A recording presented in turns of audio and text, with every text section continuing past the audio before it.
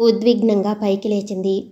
ఇలా మాట్లాడుతున్నాడేం? డబ్బే అవసరమని తెలిసే తనను కలుసుకోమన్నాడుగా.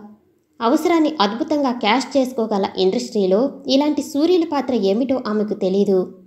ఆగండి సుకృతి. ఓ పదివేలు దాకా అడ్వాన్స్ ఇప్పిస్తాను బేరం మొదలుపెట్టాడు. నాకు కావలసింది పాతిక వేలు. ఎప్పుడో కాదు వెంటనే మొండిగా అంది. అంత డబ్బు ఒకేసారి మీరు రాబట్టాలి అంటే ముందు నటించాల్సింది సినిమాల్లో కాదు. అర్థం కానట్టు చూసింది. బ్లూ ఫిల్మ్స్లో అలా కోపంగా చూడకండి. నేను జోక్ చేయటం లేదు. సీరియస్గానే అంటున్నాను. ఒక్క రాత్రి మీరు మీది కాదనుకుంటే తెల్లవారేసరికి మీరనుకున్న డబ్బుతో మీరు వెళ్ళొచ్చు. షర్టు కాలరు పట్టుకుని చెంపలు వాయిగొట్టేదే నిభాయించుకుంది. కన్న తండ్రి నీ వయసుని ఖర్చు చేసి డబ్బు సంపాదించు అన్నప్పుడు ఇక్కడో సూర్య అలా మాట్లాడినందుకు ఆవేశపడటంలో అర్థం లేదు. ఏమంటారు? నవ్వింది నిస్త్రాణగా. నిన్నటి నా స్థాయి ఈరోజు నాకు ఉంటే నువ్విలా మాట్లాడగలిగేవాడివి కాదు మిస్టర్ సూరి. కానీ నేనిప్పుడు ఓడిన తల్లికి కూతుర్ని. బహుశా అదే నిన్ను బలవంతుణ్ణి చేసి ఉండవచ్చు. అయితే నేను మానసికంగా అంత బలహీనురాలని కాలేకపోతున్నాను సూరి. ఎందుకంటే అమ్మని బ్రతికించుకోవటానికి అవసరమయ్యే డబ్బు కన్నా మా ఇద్దరి అభిమానాలు బ్రతికించుకుంటూ చావటానికి అవసరమయ్యే విషయం ఖర్చు చాలా స్వల్పం కాబట్టి. ఓకే. సుకృతి రెస్టారెంట్లోంచి బయటికి నడిచింది. విడిచిపెట్టలేదు సూరి. ఆమె వెంటపడ్డాడు. మీరు అలా తొందరపడి వెళ్ళటం కాదు. మరో ప్రపోజల్. నిన్న రాత్రే నేను తెలుగు ఇండస్ట్రీలో నెంబర్ వన్ డైరెక్టర్ అయిన సుదర్శన్ రావు గారితో మాట్లాడాను. ఈ మధ్య ఓ లవ్ స్టోరీకి అవసరమైన కొత్త హీరోయిన్ కోసం ఆయన వెతుకుతున్నారు. మీ అమ్మగారు కూడా ఒకప్పుడు ఆయన సినిమాలో నటించిన విషయం మీకు తెలిసే ఉంటుంది. తెలీదు సుకృతికి. అసలు ఇండస్ట్రీలో ఉన్న మహానటికి కూతురైన ఇక్కడి విషయాలు అభిమానాల గురించి వ్యక్తిత్వాలను గురించి తెలుసుకోవలసిన అవసరం ఇప్పటిదాకా రాలేదు. ఆయన మిమ్మల్ని చూడాలనుకుంటున్నారు. ఒకవేళ నచ్చితే పాతిక వేలేమిటి? లక్షైనా మీకు అర్జెంటుగా ఇవ్వగలరు. ఆశ్చర్యపోకండి. ఒక్కో సినిమాకి ఇరవై నుంచి పాతిక లక్షల దాకా తీసుకోగల పెద్ద డైరెక్టర్ ఆయన. బస్టాప్ దాకా నడుస్తూ అంది సుకృతి. ఒకవేళ ఆయన్ని వెంటనే కలుసుకోవాలి అంటే ఈ అడ్రస్కి కాంటాక్ట్ చేయండి. రాత్రి ఎనిమిది గంటల నుంచి ఆయన ఉండేది కొడంబాకంలోని ఆయన గెస్ట్ హౌస్లో. ఓ కార్డు అందించాడు ఈసారి కూడా. జవాబు చెప్పకుండా బస్ ఎక్కింది సుకృతి. మొన్నటిదాకా బస్సు ప్రయాణం తెలియని సుకృతి తను పెరిగిన ప్రపంచం నుంచి ఎంత దారుణంగా విసిరేయబడింది తెలియచెప్పే ఉదాహరణ అది. అలవాటు లేని రద్దీలో నిలబడ్డ సుకృతి ఇప్పుడు ఆలోచిస్తున్నది. ఊపిరి తిరిగిన ఈ స్థితి గురించి కాదు. సూరి ప్రపోజల్ గురించి ఎలా ప్రపంచంలో బ్రతకటమో సపకోశానికి గురి కావకుండా అనిపిస్తుంటే కనుకొనల్లో నిలిచిన ఓ నీటి బుట్టుని జుగుప్సగా తుడుచుకుంది. ఆకాశంలో పుట్టిన గంగ శంభుని శిరస్సు నుంచి సముద్రం దాకా జారిపడింది. ఇక అడుగు పెట్టాల్సింది నీచమైన రసాంతంలోకి అంతే. అదే సుకృతికి మిగిలిందిప్పుడు బస్సు దిగి ఇరుకుగా ఉన్న వీధిలో అడుగుపెట్టగానే సుకృతి చూసింది. అలువేలు ఇంటి ముందు జనం పోగై ఉన్నారు. ముందు తొట్టుపడింది వెంటనే ఆగ మేఘాలపై గదిలోకి దూసుకుపోయిన సుకృతి అక్కడ తల్లి పరిస్థితి విషమించినట్టు అర్థం చేసుకుంటూనే అచేతును రాలైపోయింది. కట్టె పుల్లలా ఉన్న రాజ్యం వెక్కిళ్ళతో ఎగిరిపడుతుంది. స్పృహలో లేదు. అయినా అస్థిపంజరంలా ఉన్న ఆమె శరీరం ఏ క్షణంలో అయినా పగిలే నీటి బుడగలాగా సంకోచ వ్యాకోచాల మధ్య అలజడిగా కదులుతుంది. అలివేలు కళ్ళనీళ్ళు పెట్టుకుంటూ రాజ్యాన్ని ఒడిలోకి తీసుకుని ఏం చేయాలో క్యాన్సర్ హాస్పిటల్కి తీసుకువెళ్ళకపోతే ప్రమాదం. డాక్టర్ రాజేష్ అన్నాడో గొణుకుతున్నాడో బాధపడకపోయినా ముందు రియాక్ట్ అయింది సుకృతే. చావు కన్నా ఇంత హేయమైన మరణానికి అమ్మ గురి కావటం ఆమెకు నచ్చటం లేదు. కళ్ళనీళ్ళు ఉపుకుతుంటే ఎవరినో అర్థించింది ఆటో కోసమని. ఈ స్థితిలో అమ్మ బ్రతికే కన్నా చచ్చిపోతే ఎంత బాగుండు అనుకున్నా ఇంకా చావని ఆశతో మరో పదిహేను నిమిషాలలో హాస్పిటల్కి తీసుకువచ్చింది. ఏ ప్రపంచంలో అయితే ఒకనాడు మహారాణిలా బ్రతికిందో ఆ ప్రపంచంలో ఎవరికి అవసరం లేని అనాథ ప్రేతమైన అమ్మని చూస్తూ దుఃఖం ఆగటం లేదు. వెంటనే ట్రీట్మెంట్ ప్రారంభించాలమ్మా అన్నాడు డాక్టర్ సుకృతిని చూస్తూ. అతడి గొంతులో జాలి ధ్వనించిన మాట నిజమే అయినా అంతకు మించి డబ్బు అవసరాన్ని గుర్తు చేస్తున్నట్టుగా ఉంది. ఉక్కిరి బిక్కిరి అవుతున్న రాజ్యం శరీరంలోని పక్కటెముక చర్మం చిట్లిన కళేబరాన్ని స్ఫురణకి తెస్తుంటే కళ్ళు తుడుచుకుంటూ అంది సుకృతి. వెంటనే ట్రీట్మెంట్ చేయండి డాక్టర్. డబ్బు తీసుకొస్తాము. ఎక్కడి నుంచి? అనే ప్రశ్నకి ఆమె దగ్గర జవాబు లేదు. బయటికి నడవబోయిన సుకృతి చేయి పట్టుకుంది అలివేలు. ఎక్కడికమ్మా? తెలిస్తేగా చెప్పటానికి మానసికమైన అలసట ఆకలి దప్పుల్ని మించిన ఆరాటం సుకృతిలోని ఆకర్షణని చంపి క్రూరంగా గెలుపు సాధిస్తున్న ఓ ఉన్మాదిలా వెళ్ళిపోయింది. ఆ క్షణాన దేవుడు కాదు ఆమెకు గుర్తుకొచ్చింది. సుదర్శనరావు దేవుడు గుర్తుకు వచ్చేవాడేమో కానీ అమ్మ బాగున్న రోజుల్లో తరచూ ఆమెను పూజించే వెంకటేశ్వరుడు ఆ తర్వాత కనీస బాధ్యతని పాటించినందుకు అతడి మీద సుకృతికి కక్షగా ఉంది. అరగంట వ్యవధిలో సూరి చెప్పిన అడ్రస్ ప్రకారం కోడంబాలోని సుదర్శన్ రావు గెస్ట్ హౌస్కి వచ్చింది. ఆటో డ్రైవర్కి యాభై అందించగానే చిల్లర లేదమ్మా అన్నాడు తమిళంలో. అదే తనదంటూ మిగిలిన ఆఖరి నోటు. తన ఘనతను ఘనంగా చాటి చెప్పుకునే చివరి సన్నివేశం కూడా అదే. తిరిగి చిల్లర అడగని ఆమెను ఆటో డ్రైవర్ విస్మయంగా చూస్తూ ఉండగానే గెస్ట్ హౌస్లో అడుగుపెట్టింది. విద్యుత్ దీపాల మధ్య ఖరీదైన సమాధిలా వెలిగిపోతుంది గెస్ట్ హౌస్ అందమైన పరిసరాల్ని కాక తన అవసరాన్ని గుర్తు చేసుకుంటూ హాల్లోకి వచ్చింది. హూ ఈజ్ దట్ స్నేహితులతో కాదు ఎవరో స్త్రీతో మందు సేవిస్తున్న సుదర్శన్ రావు కాంక్షగా చూశాడు ఇరవై ఏళ్ళ సుకృతిని. నా పేరు సుకృతి. వెల్కమ్. అప్పటికి ఖచ్చితంగా ఆమె కోసమే ఎదురు చూస్తున్నట్లుగా పైకి లేచాడు. అంతసేపు అతడికి కంపెనీ ఇచ్చినట్టుగా అతడికి సంజ్ఞ చేసి బయటికి నడిచింది. రెండు లోపలికి. వెనుక గదిలోకి అతడు నడుస్తుంటే జీవితం పులిలా గాయపరిచిన లేడి పిల్లంత ఒద్దికగా అనుసరించింది. నాకు డబ్బు కావాలి. ఈ ప్రపంచంలో డబ్బు అవసరం లేనిదెవరికి? జవాబు చెప్పలేకపోయింది. సుమారు నలభై ఐదు సంవత్సరాల వయసున్న సుదర్శనరావు ప్రజల నాడి తెలిసిన తిరుగులేని దర్శకుడు.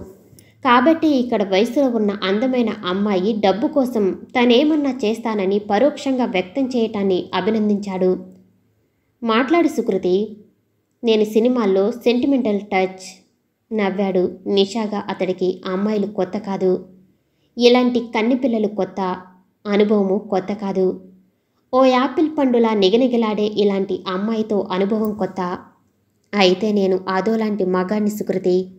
అన్న మాట ప్రకారం డబ్బు కోసం నటించే అవకాశం ఇవ్వటం మాత్రమే కాదు. ముందు నీలాంటి అమ్మాయితో రాత్రి గడపటాన్ని కోరుకుంటాను. సూటిగా విషయానికి వచ్చేశానుగా.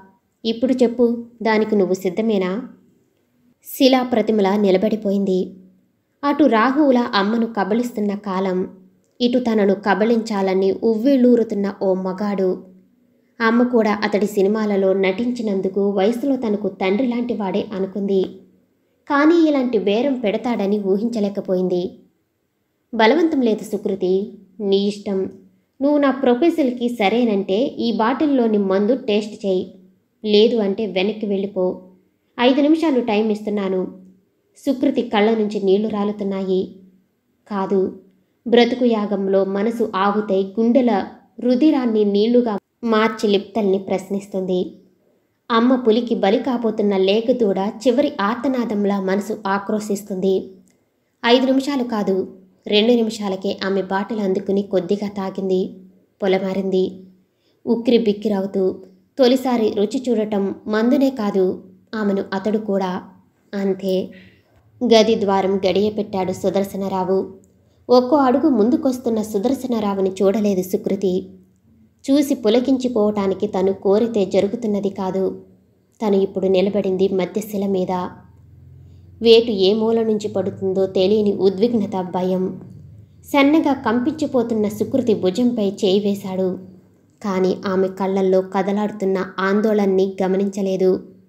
గమనించటానికి స్పందించటానికి ఋషి కాడతను దొరికిన అందాన్ని జుర్రుకోవాలనుకుంటున్నవాడు నీడల బీటల మధ్య నిగనిగిలాడే నీరెండల వాడని పొగడదండల కోరికల్ని రెచ్చగొట్టే వనమూలికలా ఉంది సుకృతి.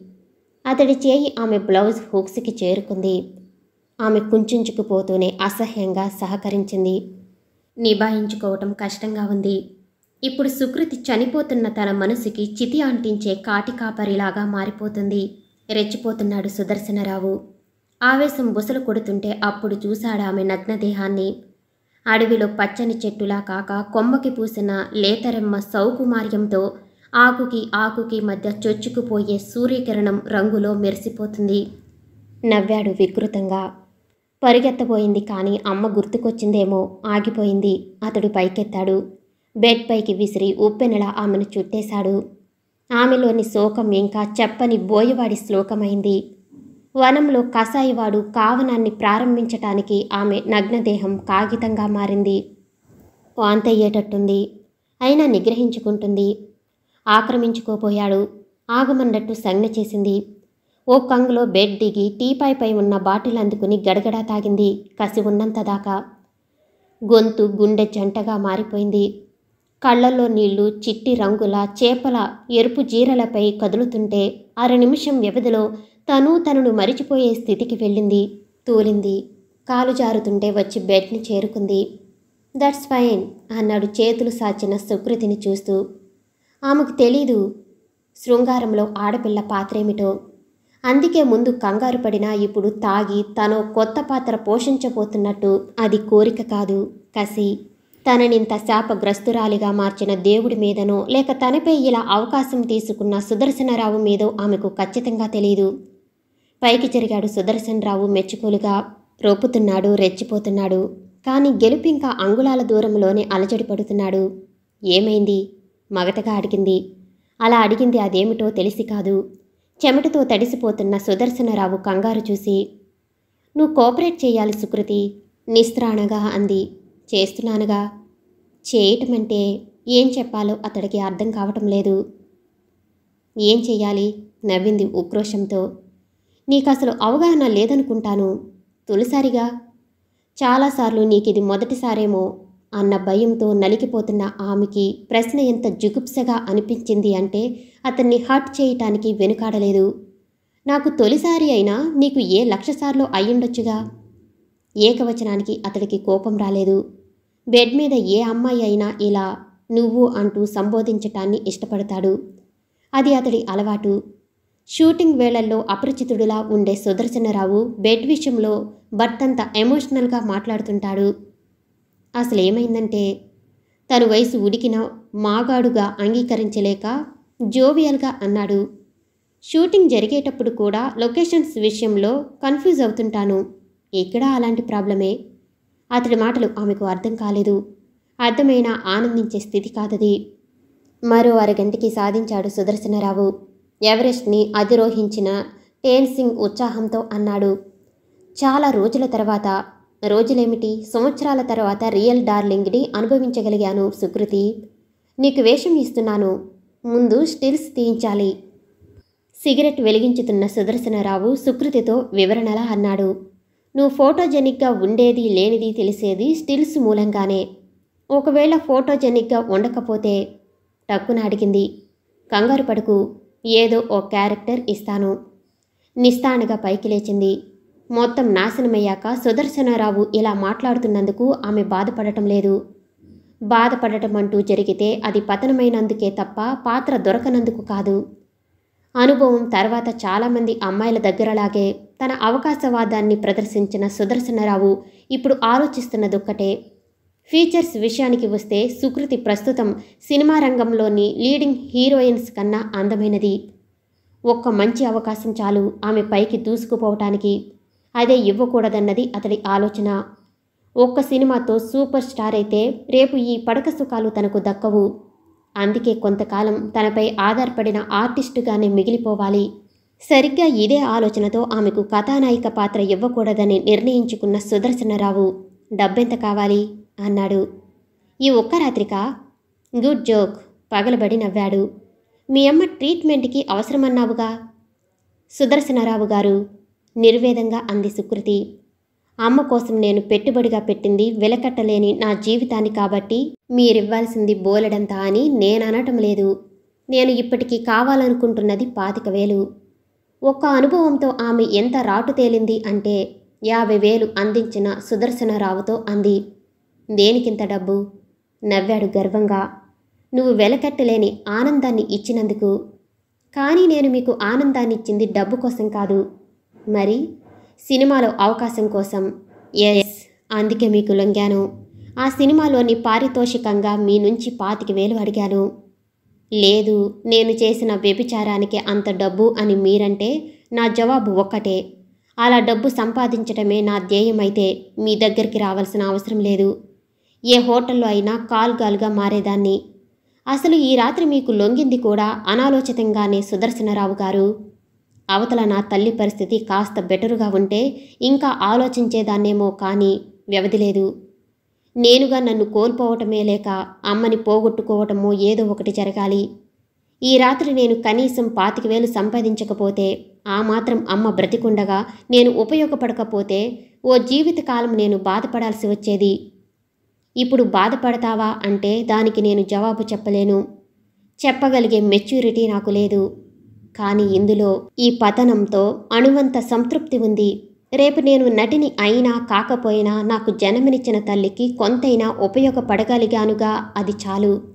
పాతిక వేలు టేబుల్పై ఉంచి మిగతా పాతిక వేలతో ఆమె వెళ్ళిపోయింది. చాలాసేపటి దాకా తేరుకోలేకపోయాడు సుదర్శనరావు. అతను డైరెక్ట్ చేసిన సినిమాలలో ఒకటి అరా తల్లి కోసమో లేక భర్త కోసమో ఇలా పతనమైన స్త్రీ పాత్రల్ని సృష్టించాడు. సెంటిమెంటల్గా ప్రేక్షకుల్ని ఆకట్టుకోగలిగాడు కానీ వాటిలో ఇంతటి జీవం లేదు. అది కాదు అతన్ని అంతగా కదిలించింది. ఇప్పుడో ఎప్పుడో అతడికి తెలియదు కానీ సుకృతి నటి అయితే చాలా త్వరలో ఈ దేశాన్ని శాసించబోతుంది. అంత అరుదైన వర్చస్సుని కాదు. పతనం తర్వాత కూడా ఆమెలో కనిపించిన గ్రేస్ అతన్ని అంతగా ఆకట్టుకుంది. అయితే అతడు ఊహించినది ఒకటే. ఒక రాత్రి పతనంతో రేపు సుకృతి ఎందరి నిద్రలేని కాళరాత్రులకు కారణం కాబోతుందని తెలతెలవారుతుండగా హాస్పిటల్కి వచ్చిన సుకృతి డబ్బును డ్యూటీ డాక్టర్కి అందించింది. తల్లి పరిస్థితి నిన్నటంత ప్రమాదకరంగా లేదని తెలిసినా సంతృప్తి మూలంగానో లేక స్పృహలో లేని అమ్మను సైతం చూడలేకనో దూరంగా ఉండిపోయింది తప్ప ఆమె బెడ్ని సమీపించలేకపోయింది. అమ్మని స్పృశించాలనుంది కానీ ధైర్యం చేయలేకపోతుంది. కళ్ళు మూసుకుని పడుకుని ఉన్న అమ్మది నిద్ర అయితే ఆ నిద్రలో సైతం తను కలగనేది కూతురి గురించే అని సుకృతికి తెలుసు. అందుకే కళ్ళల్లో నీటి పొరలు పేరుకుంటున్నాయి. సుకృతి అప్పుడు చూసింది సుకృతి. ఎంతసేపైందో అలివేలు తన సమీపంలో నిలబడి ఇప్పుడు పలకరిస్తుంది. అలివేలు కళ్ళల్లోకి సూటిగా చూడలేనట్టుగా నడిచింది కారిడార్లోకి. ఆగమ్మా ఆంటీలా కాక అమ్మంత ప్రేమగా పిలిచింది అలివేలు. నిన్నే ఆగలేదు సుకృతి. కారిడార్ని దాటి హాస్పిటల్ ప్రాంగణంలోకి గార్డెన్లోకి వచ్చింది. ఎక్కడికి పారిపోతున్నావు? భుజం పట్టుకుని నిలదీసింది అలివేలు. లేదంటీ తొట్రుపడింది సుకృతి. గిల్టీనెస్ ఇంత బాధాకరంగా ఉంటుందని తెలిసింది ఇప్పుడే. నిద్రొస్తుంటే ఇంటికెళ్ళాలనుకుంటున్నాను. తల వంచుకున్న సుకృతి తలని పైకెత్తి పరిశీలనగా చూసింది అలివేలు. ఆందోళనగా విదిలించుకోబోయింది కానీ అలివేలు పట్టు విడిపించుకోలేకపోయింది. తెల్లారిపోయిందా సుకృతి? టప్ అని రాలిపడింది ఓ కన్నీటి బొట్టు. అవును ఆంటీ తెల్లారింది. తెల్లవారిన సూచనగా హాస్పిటల్లో సందడి మొదలు కావటాన్ని అన్వయిస్తూ చెప్పింది. మనసు దేవుకుపోతుంటే కందిన మూముతో ఆకాశంలోని ఆరు రేఖల్ని చూస్తూ అంది అలివేలు. ఎంత పని చేశావమ్మా? తనకు కాలం చెల్లిపోతుందని తెలిసినా ఆ కాలాన్నే నీకు ఆలయంగా అనుకుంది. బ్రతకనని తెలిసిన క్షణాల్లో సైతం ఆకాశంలోని సంధ్యకాంతిని చూస్తూ ఉదయ సూర్యుడి కిరణాలని తాకుతూ నిన్నే స్ముశించినంత ఆనందంతో నీ తల్లి పొలకించిపోయేది ఏం మిగిల్చావు? పతనమై ఏం సాధించావు? ఆంటీ కంపించిపోతుంది సుకృతి. అసలు నేను ఆదోక్తిగా అంది అలివేలు. పతనం కాలేదు అని బుకాయించుకు సుకృతి. పదిహేను సంవత్సరాలుగా పతితనై బ్రతుకుతున్న దాన్ని అపవిత్రత కుళ్ళులో కొట్టుకుపోతున్న దాన్ని నీకు రవ్వంత మైల అంటినా నేను గుర్తించగలనమ్మా. So what? సుకృతి కళ్ళ నుంచి నీళ్ళు దారకడుతున్నాయి అయితే ఏమిటట? అసలు అమ్మ కోసం నేనేం త్యాగం చేయలేదు ఆంటీ. అలా అని బాధ్యతని తీసుకోలేదు. రేపు బ్రతికుండగానే స్పృహలోకి వస్తే ఓ షాక్లా నా జీవితం గురించి నేనే తెలియచెప్పాలనుకుంటున్నాను. దానివలన నేను సాధించేదేమిటో తెలుసా? అమ్మ మీద పగ తీర్చుకోవటం. అవును ఆంటీ. ఇరవై సంవత్సరాల నా జీవితం ఈ రాత్రి గడి తప్పటానికి గాని లక్షల ఆస్తిలో డబ్బు అనే రెండక్షరాల వస్తువు కోసం నేను కుమిలిపోవటానికి గాని కారణం నిర్లక్ష్యమేగా? అసలు అమ్మ నిజంగా నన్ను ప్రేమించి ఉంటే జ్ఞానం తెలియని వయసులోనే తనకు దూరంగా నన్ను పెంచేది కాదు. అమ్మకి కావాల్సింది తన భర్త. ఆ భర్తకి అంతా దోచిపెట్టడం. అంతే తప్ప నేను కాదు. ఇలా అంటున్నది ఈ క్షణంలో తోచిన ఆలోచనతో కాదు ఆంటీ. ఈ మూడు రోజుల జీవితం విశ్లేషణతో. ఏది? అమ్మకే నేను అవసరమైన ప్రాణిననిపిస్తే నాకంటూ కొంత మిగిల్చేదిగా? అది నా కోసం కాకపోయినా ఇప్పుడు అమ్మ కోసమైనా నేను వినియోగించేదానిగా ఆ మాత్రం కూతురి మీద జాలి మమకారం లేని అమ్మకి వయసు ఖర్చు చేసి డబ్బు సంపాదించమన్న నాన్నకి తేడా ఏమిటి ఆంటీ? ఇద్దరు ఇద్దరే. ఈ కలిసే నన్ను నాశనం చేశారు. అయినా నేను నా బాధ్యత నుంచి దూరంగా పారిపోలేదు ఆంటీ. పాతిక వేలు సంపాదించాను. అమ్మ కోసం ఇంకా సంపాదిస్తూనే ఉంటాను. అంతే. సుకృతి అశ్రుసిక్త నయనాలతో రుద్ధమైన కంఠంతో ఎంతటి అంతర్మదనపు జీరలే కనిపించాయో ఆప్యాయంగా దగ్గరకు తీసుకున్న అలివేలు బుజ్జగిస్తున్నట్టుగా అంది. ఏ తల్లి గాని కోరుకోవలసిన గొప్ప కూతురివి సుకృతి. నువ్వు ప్రదర్శించిన కోపంలో సైతం నీ తల్లిపై మమకారమే కనిపించింది తప్ప ద్వేషం కనిపించలేదమ్మా. నేను బాధపడుతున్నది ఒక్కదానికేనే పిచ్చి తల్లి. రేపో మాపో రాలిపోవలసిన కాయ కోసం సవ్యం కాదనే ఆంటీ స్థిరంగా అంది సుకృతి. ఎందుకు జరిగినా కానీ ఎలా జరిగినా కానీ జరగకూడనిది జరిగిపోయింది. ఇక దాని గురించి నేను పశ్చాత్తాపడను ఎందుకంటే అది మరింత బాధాకరం కాబట్టి. అయితే ఒకటి మాత్రం నిజం ఆంటీ అమ్మ కోసం అమ్మ బ్రతికినంత కాలం డబ్బు సంపాదిస్తూనే ఉంటాను. ఎలా అయినా సరే ఒకసారి ఊపిలో అడుగుపెట్టిన ఆడపిల్లగా ఇక నేను దేనికి వెనకాడాల్సిన అవసరం లేదు. ఆ మధ్యాహ్నమే సుదర్శనారావు గారు పంపిన కారు వచ్చింది హాస్పిటల్కి. ప్రొడక్షన్ ఎగ్జిక్యూటివ్ రాజు కారిడార్లో నడుస్తూ అలివేలును చూసి ఆగాడు. ఏం తల్లి ఆ పిల్లెక్కడా? తొట్టుపడింది అలివేలు. సుదర్శనరావుకి ప్రీశిష్యుడే కాక ఇంచుమించు అతడి ప్రతి సినిమాకి ప్రొడక్షన్ ఎగ్జిక్యూటివ్గా ఉండే రాజు కనిపించిన ప్రతిసారి ఇలాగే పిలుస్తుంటాడు. కోపం వచ్చినా నిగ్రహించుకోక తప్పదు. తిరగబెడితే ఒకటి ఆరా దొరికే జూనియర్ ఆర్టిస్ట్ వేషాలు దక్కవు. ఏంటే మాట్లాడవు? రాజు గొంతులో అధికారానికి కారణం అలివేలు స్థాయి యువతులు తనకు భయపడతారన్న నమ్మకం ఒకటే కాదు. అడపాదడప అతని పక్కన పడుకోవలసి రావటం కూడా ఈ చిత్ర పరిశ్రమలో ఎలాంటి ఘట్టాలు మామూలే అయినా సుకృతి ఏదంతా గమనిస్తే పట్టుకోలేదు. నన్ను ఎలాగైనా పిలువు రాజు. కానీ సుకృతిని అలా పిల్ల అంటూ సంబోధించకు. ఏం? పిల్ల కాక అప్పుడే స్టార్ అయిపోయిందా? స్టార్ అయిందో లేదో నాకు తెలీదు. కానీ సుకృతి ఒకనాడు ఇండస్ట్రీలో నువ్వు ప్రొడక్షన్ బాయ్గా అడుగు పెట్టడానికి కారణమైన రాజ్యం కూతురు.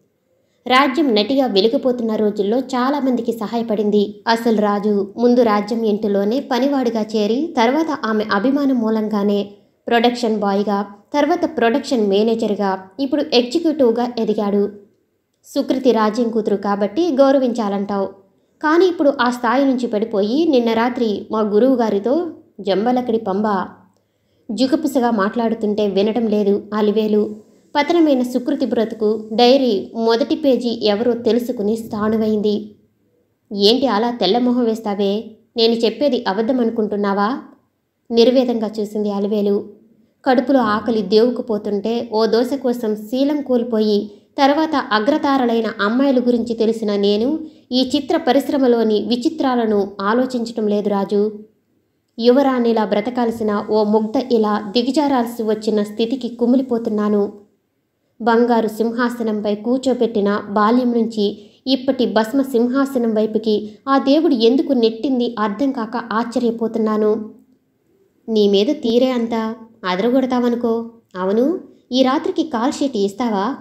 రాజు దృష్టిలో కాల్ షీట్ అంటే ఓ రాత్రి గడపడం జవాబు చెప్పేదే కానీ ఇంతలో సుకృతి రావటంతో ఆగిపోయింది. సుకృతిని ఆపాదమస్తకం చూస్తూ నిలబడిపోయిన రాజుతో అంది అలివేలు. సుకృతి కోసం వచ్చారుగా? తేరుకున్నాడు రాజు. మరేం మీ స్టిల్స్ తీయించటానికి మిమ్మల్ని తీసుకెళ్ళమని పంపారు డైరెక్టర్ గారు. సుకృతి నిశ్శబ్దంగా అతన్ని అనుసరించబోతుంటే అడిగింది అలివేలు. నన్ను తోడు రమ్మంటావా? అవసరం లేదు. అది కాదమ్మా రహస్యంగా అంది అలివేలు. నువ్వు వెళ్ళే చోట ప్రతివాడు అవకాశం తీసుకోవాలనుకుంటాడు. ఏం మిగిలిందని భయపడాలి? భావరహితంగా అన్న సుకృతి వెళ్ళి కారులో కూర్చుంది. పదిహేను నిమిషాలలో ఓ స్టూడియోని చేరుకుంది కారు. ముందు మేకప్ టేస్ట్ కోసం గ్రీన్ రూమ్లోకి తీసుకువెళ్ళాడు రాజు. యాభై ఏళ్ళ వయసులో పళ్ళకు గారులు పెట్టి జుగుప్సగా కనిపిస్తున్నాడు మేకప్ మ్యాన్. అది కూడా భరించేదే. కానీ చెంపలపై మేకప్ ప్రారంభించిన ఆ వ్యక్తి క్రమంగా మెడ దగ్గరికి అక్కడి నుంచి గుండెలపైకి చేతుల్ని మళ్ళిస్తుంటే జుగుప్సగా పైకి లేవబోయింది. అలా కంగారు పడుకు అమ్మడు.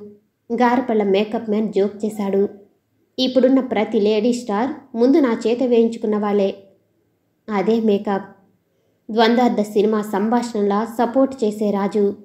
మీరు కానివ్వండి రావు గారు కొత్త పిల్ల కదా. పిచ్చి పిచ్చి వేషాలు వేయకుండా మీ పని కొనసాగించరనుకుంటాను ఉలిక్కిపడ్డాడు రావుతో పాటు రాజు కూడా. ఇలా అయితే సినిమా ఫీల్డ్లో పైకి రావటం కష్టం.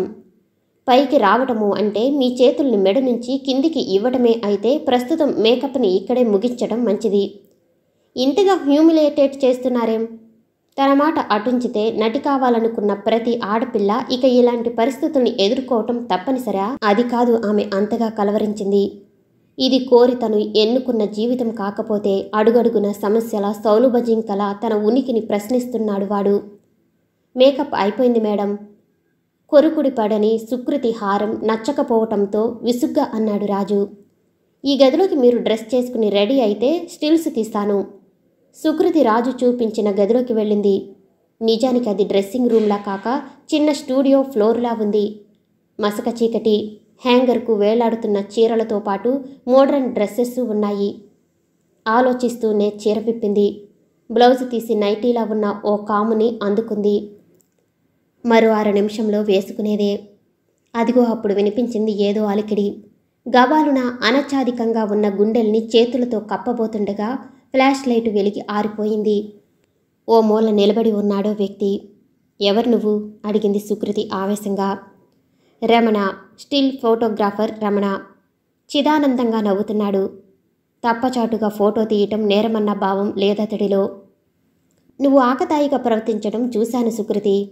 అందుకే అడిగిన ఫోజు ఎలాగూ పెట్టవని పైగా నీ రియాక్ట్ను సహజంగా ఉంటుందని ఇలా చెప్పకుండా తీశాను కంగారు పడకు. చేతులతో గుండెల్ని దాచేశావుగా. అతడిది తన తండ్రి వయసే. అయినా తనతో ఆడుకుంటున్నాడు. మొత్తమంతా కాలుష్యమైతే ఎవరిని నిలదీయాలి? ప్లీజ్ ఆ ఫోటో ఎవరికి ఇవ్వకండి? అద్దెంపులా అడిగింది. అలాంటి సభ్యత నాకు ఇష్టం ఉండదు. నిజమా? ఎగతాళిగా నవ్వాడు రమణ.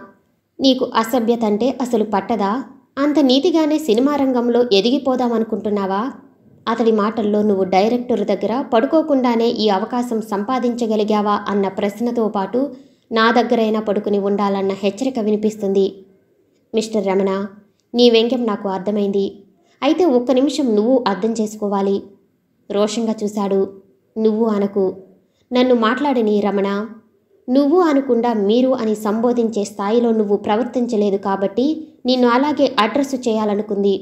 కాకపోతే తప్పనిసరి పరిస్థితిలో ఒక చోట ఆడపిల్ల ప్రతి స్టూపెట్ ముందు జారి జారుడు బల్లలా శరీరాన్ని అందివ్వాలనుకోవటం న్యాయం కాదని నీకెందుకు అనిపించటం లేదో నాకు బోధపడటం లేదు. అలా రోషంగా చూడకు. ఎస్ నేను డైరెక్టర్ ఓ రాత్రి గడిపాను.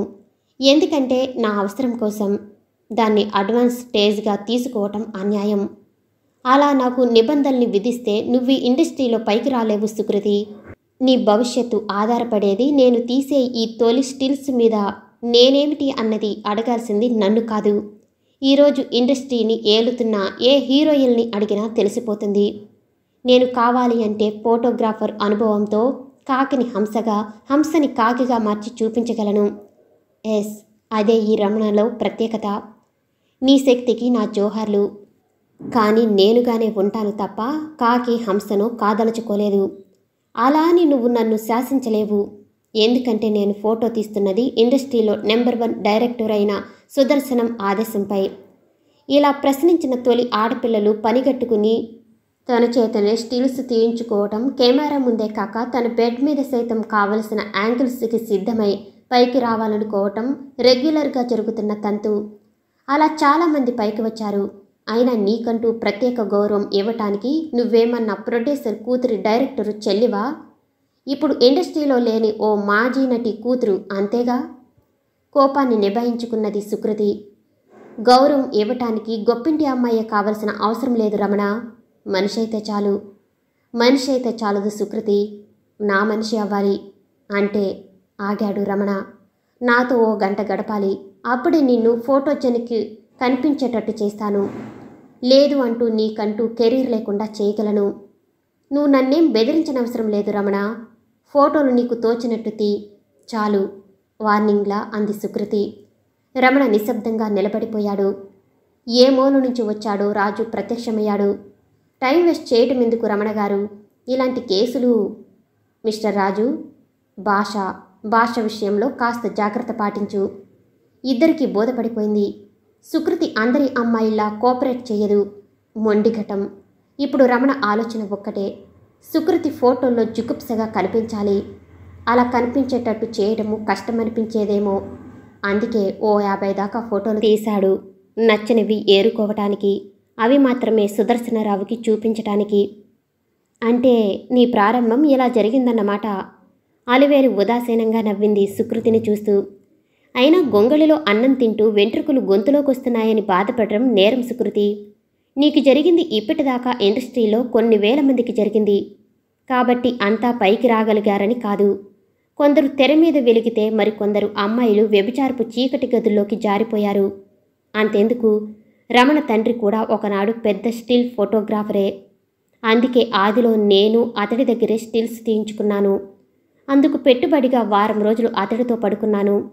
అయినా నేను స్టార్ని కాలేకపోయానుగా. అలా అని అందరూ నాలాగే మిగిలిపోతారని కాదు. ఇప్పుడు తెలుగు ఇండస్ట్రీని ఏలుతున్న రమ్యశ్రీ ఒకప్పుడు రమణ ఇంట్లోనే ఉండేది. రెండేళ్ళ పాటు రమణే కీప్ చేశాడు. ఆ తర్వాత రమ్యశ్రీ స్టిల్స్ తీసి తనే ఆ ఫోటోలు పట్టుకుని ప్రొడక్షన్ ఆఫీసులకి తిరిగి తిరిగి ఆమెకు అవకాశం దక్కేటట్టు చేశాడు. ఇప్పుడు రమ్యశ్రీ నెంబర్ వన్ హీరోయిన్. కాబట్టి రమణతో పని లేదు.